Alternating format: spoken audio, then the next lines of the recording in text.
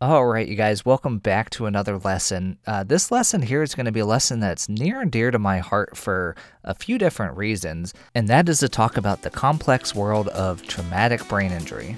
So, there's a lot of stuff to talk about with this topic, so make sure you guys hang in there, and I'm going to start breaking this down with an overview.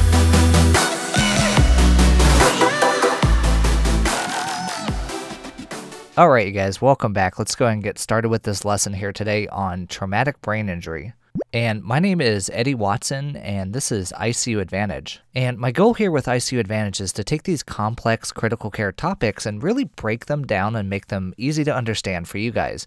I really hope that I'm able to do just that, and if I have, hopefully by the end of this lesson, I'll have earned a subscription from you.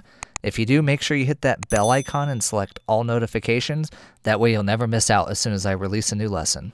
All right, so let's go ahead and start off talking about traumatic brain injury or something that we refer to as TBI. And so, what this is, is essentially when we have some sort of external force that's going to be causing damage to the brain. And this can really be the result of many different types of forces. So, things from mechanical, thermal, chemical, electrical, even radiation can technically cause damage to the brain. But more often, when we're talking about this, we're referring to the physical mechanical forces. These are going to be the most common type.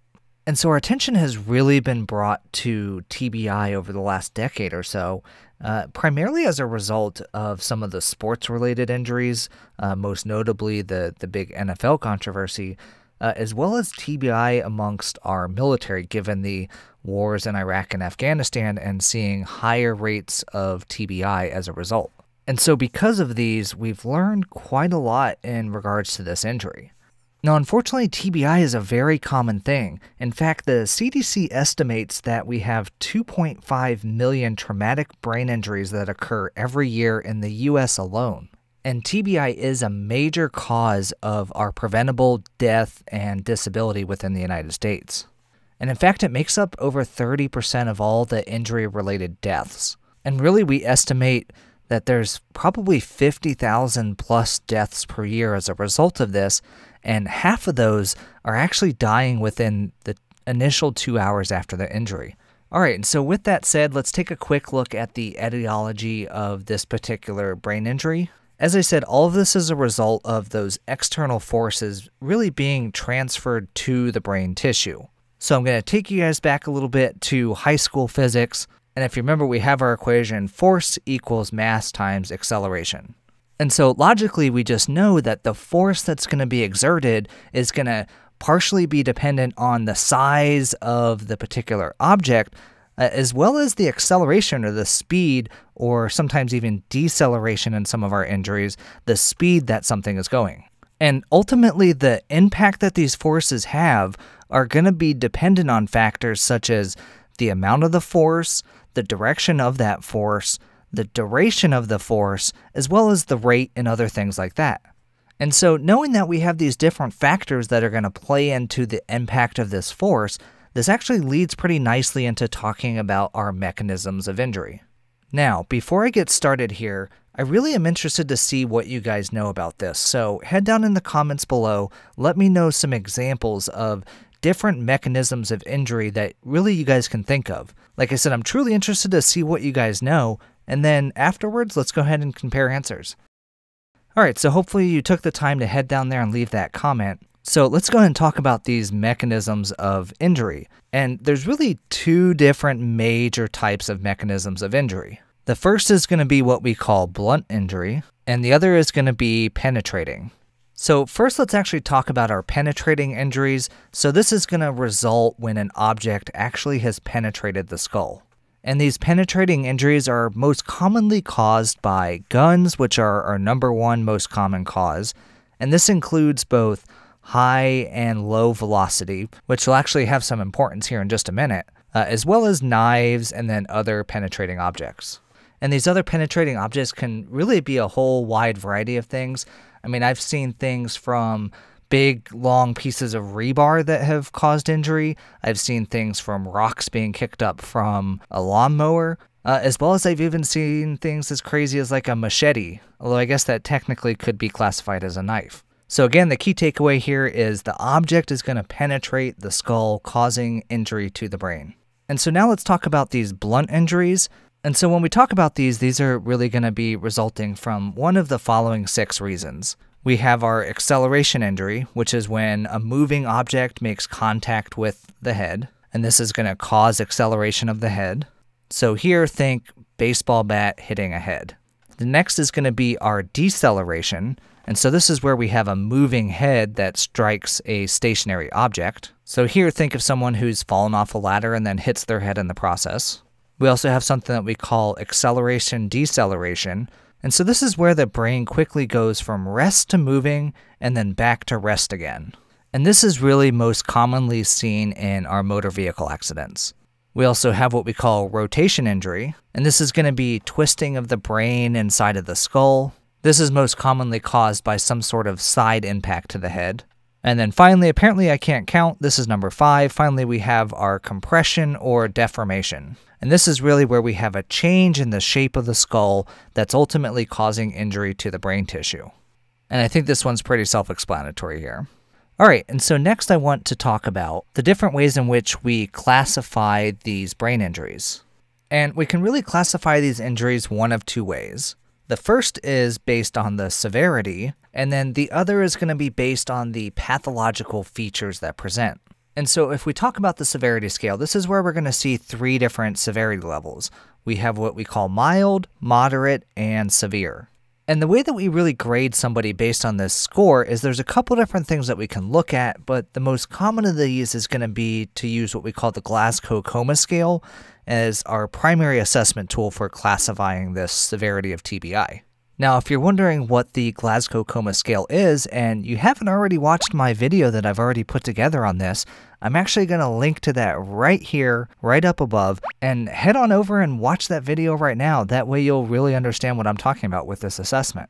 And so the big takeaway here is the higher GCS score that we have is that's actually going to be associated with better outcomes for our patients. But don't discount the effects of even a mild traumatic brain injury, because even this injury can potentially last a lifetime. Although the majority of people that do have this mild injury will fully recover within just a few weeks. All right, so now if we actually talk about the pathological features as a classification, there's two different types when it comes to classifying this way. And the first of these is what we call focal, and this is where we're going to be producing symptoms that are related to functions of the specific damaged areas. So you can almost think about this as being localized. Now, these particular focal injuries do take up space in the skull, and they ultimately can cause compression of the surrounding tissue, leading to edema, elevated ICPs, brain shifts, and even herniation. So, just because they're focal or localized doesn't mean that they can't have an effect on the entire brain. Now, the other classification here is something that we call diffuse, and this is, as the name suggests, it's a widespread injury, uh, often with very little apparent damage on imaging studies. Now, with these injuries, you certainly can have either or, but more common is you're actually going to see both of these in our patients. All right, so let's go ahead and move on from here. And I'm going to talk real quickly about something that we call head injury. This is basically a more broad term and technically does encompass the brain injury that we're going to talk about here in a minute. But things that we also consider a head injury that we don't consider brain injury are going to be things like a scalp injury and our skull fractures. Now, for a scalp injury, this is where we're going to have things like an abrasion, which is going to be that top layer of skin that's removed with maybe a little bit of bleeding, to a contusion, which is the skin isn't broken and we have a hematoma, and then finally a laceration, in which we have the scalp, which is actually torn. Now, the scalp is well supplied with blood, so if you do see a scalp laceration, you truly might have extensive bleeding and is probably going to require some sort of suturing. Now, when it comes to skull fractures, there's actually four, and I believe I can count this time. There's four different skull fractures that we're going to talk about. The first is going to be our linear fracture, where this is essentially just a single fracture line or a crack in the bone. So next is going to be our comminuted. This is basically splintered and shattered into pieces. Next is going to be the depressed skull fracture, which actually goes in line with what we had talked about previously with the mechanism of injury being that compression or deformation. So, in the depressed skull fracture, we're going to have bone fragments that become inwardly depressed into the brain tissue. And this can either be open or closed. And then finally, the last fracture is going to be something that we call the basilar, which is essentially a linear fracture along the base of the skull. Now, our basal skull fracture, this is where you're going to see some of these classic signs like like our periorbital ecchymosis or something we call raccoon eyes, the mastoid ecchymosis or battle sign. You can also have a dural tear resulting in either rhinorrhea, which is CSF or blood from the nose, or otorrhea, which is CSF or blood from the ears, as well as the hemotympanum, which is where we have blood in the tympanic cavity behind that tympanic membrane. All right, so with those out of the way, let's actually get in and start to talk about our brain injuries and specifically something that we refer to as our primary brain injury. Now, this is going to be a really quick overview as I'm actually going to have another lesson coming up here where I'm going to cover this stuff in much more depth. But our primary brain injury is going to be something that occurs at the time of the impact, and the result is either a focal, diffuse, or combination of the two injury. There's actually seven different types of primary brain injury that I'm going to talk about. So, the first and the least severe is going to be our concussion. And this is essentially our mildest form. Uh, really, this is considered a diffuse injury. And someone with a concussion can often have a brief loss of consciousness, a headache, dizziness, and possibly nausea and vomiting. All right, next is going to be something that we call a contusion. This is where we're going to have small bleeds or bruising in the brain tissue. Now, this is where we can start to see things like coup versus contrecoup, which is essentially seeing injury on the same, which is coup, or the opposite side, which is contrecoup of the impact. Symptoms that you can see with this are going to be changes in our patient's level of consciousness. You can have central nervous system dysfunction, seizures, uh, hemiparesis, hemiplegia, really kind of dependent on where this particular focal injury is occurring. All right, the next injury that I'm going to talk about is something that we call uh, epidural hematoma. And this is where we have bleeding between the dura mater and the skull. And this one's often associated with skull fractures. Now, the epidural hematomas are usually the result of an arterial bleed, uh, most associated with the middle meningeal artery that's located right under the temporal bone. But sort of our classic presentation for this, and certainly not everybody goes through this, is you may see somebody who presented with an initial loss of consciousness, but then regained consciousness for this period of time, something that we call the lucid period, followed by a pretty rapid decline in their condition. And that rapid decline is really a result of that fast bleeding hematoma since it's an arterial bleed. Now, again, some of the symptoms that we can see for this are again changes in our patient's level of consciousness, headache, seizure, vomiting, and then again, focal changes, and in particular, we could see ipsilateral pupil dilation. So here this hematoma is putting pressure on the brain tissue, causing this mass effect and elevating our patient's ICP. And in almost all cases, this is going to require emergent surgery for this hematoma. All right, so now let's talk about a subdural hematoma. And this is where we're going to see bleeding that's between the dura mater and the arachnoid mater. Now, the subdural hematoma is going to be a little bit different because this is going to be the result of shearing of these cortical veins that kind of bridge between the dura and the arachnoid. So typically these are going to be the result of an acceleration, deceleration, or some sort of rotational injury. So if you think about it here, now we're actually dealing with a venous bleed as opposed to that arterial bleed. Now, essentially, we're going to classify these as either acute versus subacute and chronic based on if symptoms are going to be present within the first 48 hours. Most often, these are going to occur a lot sooner than that. Now, here in these patients, we're going to see this progressive decline in their level of consciousness. They could have a headache, agitation, confusion, seizures, and once again, focal deficits depending on where the bleed is. And again, here, think the symptoms are usually going to develop slowly as a result of that slower venous bleed. Now, again, depending on the impact that this is having on our patient, that this could also require potentially emergent surgery or at a minimum some sort of drain placement. All right, so the next bleed that I'm going to talk about here is something that we call the traumatic subarachnoid hemorrhage.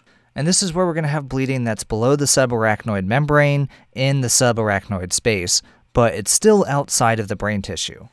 Now, this is actually going to be pathologically different than a subarachnoid hemorrhage that we see as a result of an aneurysm rupture. Uh, and in the case of these traumatic ones, there often isn't any surgical intervention that can be done. Now, if we do see a decreased level of conscious in our trauma patients, uh, that this is actually going to be associated with a poor prognosis. And given the nature of the space in which this bleeding is, that this may also present itself with an intraventricular hemorrhage as well. Now, for these patients, the symptoms that we're going to see are changes in level of consciousness, a headache, which is often described as the worst headache of their life, uh, confusion, seizures, and once again, focal deficits. All right, and the next bleed that I'm going to talk about is something that we call our intracerebral hemorrhage.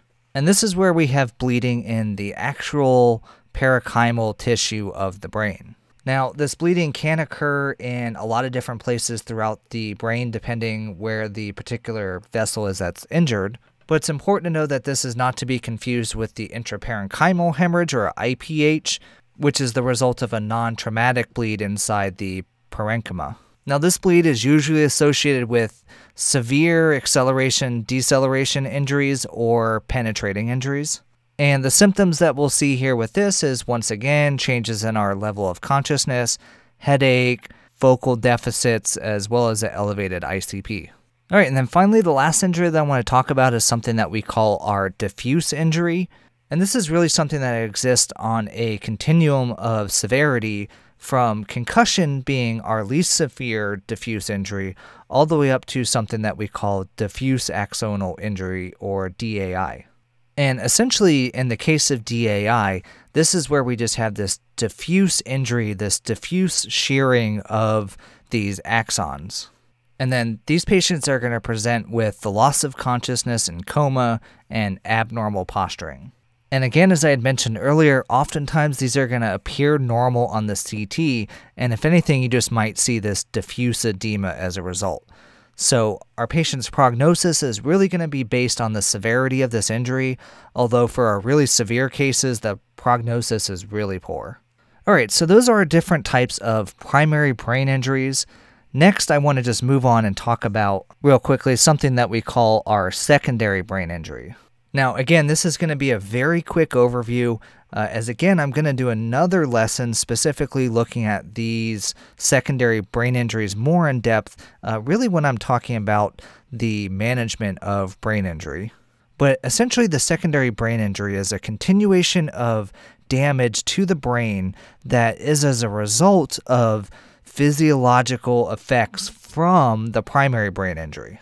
And so basically, what's happening here is the primary brain injury is going to lead to this cascade of ischemia and cellular level changes that are going to lead to additional neuron cell injury and ultimately cell death.